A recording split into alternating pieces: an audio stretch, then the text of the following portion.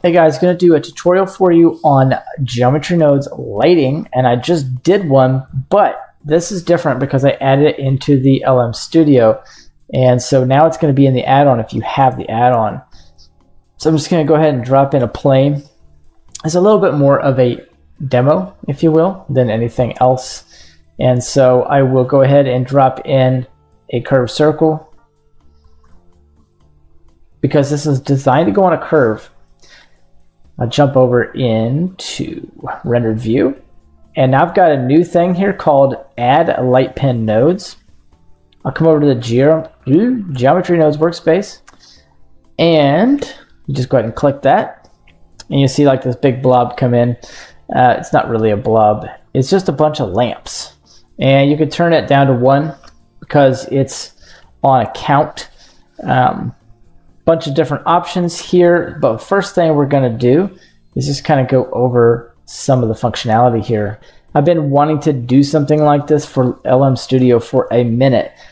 All right, so like anything else, you know, we can come in and change all of the different lights. And an area light came in, so, and it didn't show up for some reason. That's always annoying. But I can switch between the area light and the point light. And let's see, did that actually come in correctly this time?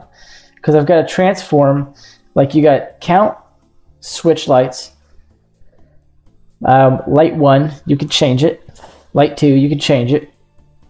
Uh, light one, transform, light two, transform. And then there's an animation curve here. So if you were to turn this up, uh, you can time this out and animate it. It's pretty cool. And then there's a translation for the area hood. So if you want to bring the area hood light up, you can scale that out. And then the cone vertices can be changed. So you're actually going to change how this looks. And of course, you know, once you change that, you can change back um, to point lights if you want. big deal. And do whatever you want. And let's move on down. So bring these cone verts back up to like uh, 8 be a little octagon, like a little stop sign. And now you can change pretty much everything that has to do with it. The radius top can go out, go in. You can change the material of said top. Uh, the translation here, you can move it over, up, down, whatever you want to do.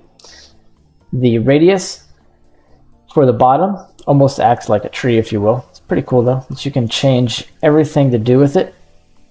Um, let's go down the depth. So you can change the depth of it.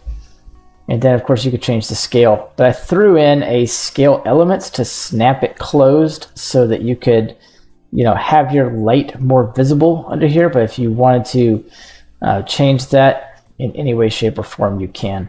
And you could even throw a, a glass on that if you want. Now I've got a wireframe for this built in. So you turn on the wireframe. You could change the wireframe material if you wanted to, which I'm getting ready to do because that is uh, atrocious. Let's go ahead and just add a couple new materials. Obviously, I was going to blue and orange. It's like I'm stuck on these blender colors or something. Okay, so let's go back over, grab the wireframe, switch that to orange, and now you can see that and now you can change uh, the color of everything.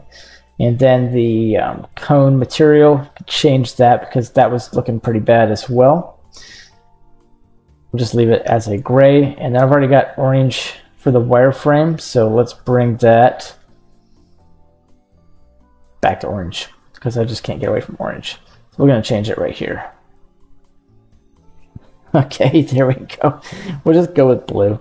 So whatever. But there's a ton of different options in here, and that's not even like the coolest part because if you know anything about curves, you can go into edit mode, hit your X, and delete the vertices. Ha! now we come over to the draw pin, my favorite part.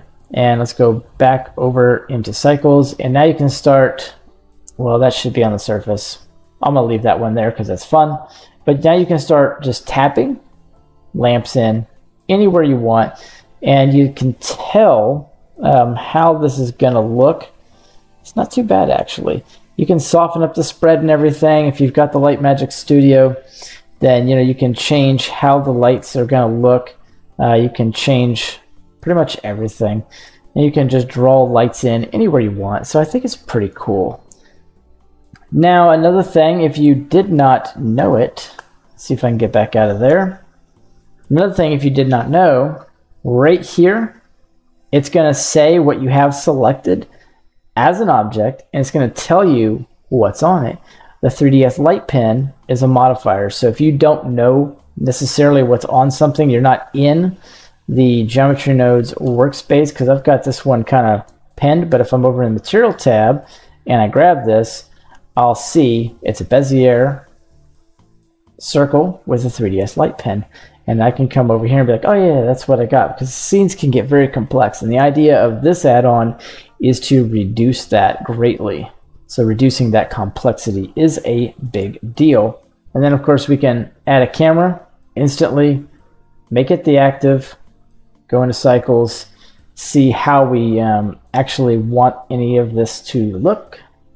And of course we can come down here and find the light we're working with and I can kind of change the radius here, change how everything looks, change the shadow. Um, funny enough though, you can change with LM Studio, you can change the light type directly inside of the add-on. So you don't have to come over here. You could just leave it a point if you have LM Studio and just make it really easy on yourself. And if you want, you can click use nodes on any one of these and then you know go down into the node setup with that. And let's see if I did go ahead and switch that to the area. Change the area here. It's pretty soft right now but we can change how all that looks kind of soften it up a touch.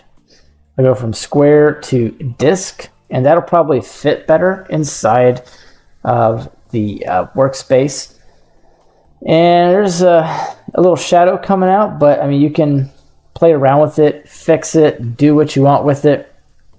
Um, for your camera, you'll see you have a camera active in the scene. And so that shows up as well. And let's see, I want to grab this. And of course, I made that the active object. Let's um, break out of that. Let's find L Camera. There we go. All right. I'm not even using my add-on the proper way here. I've got a grab button for the camera, and then I can make it active again. So that gets a little bit tedious. Yeah, I had to go back. Apparently making a geometry node set up the active camera is a bad idea. All right, so grab my camera, go back to active. And then we can start playing around with the depth of field and stuff. But anyways, you guys know I've done enough tutorials on this specific add-on. Uh, so appreciate you guys watching. Go check that out. You'll be able to go in and draw your lights. So cool. Yep, lots of fun. Anyways, see you guys in the next one. Appreciate you watching.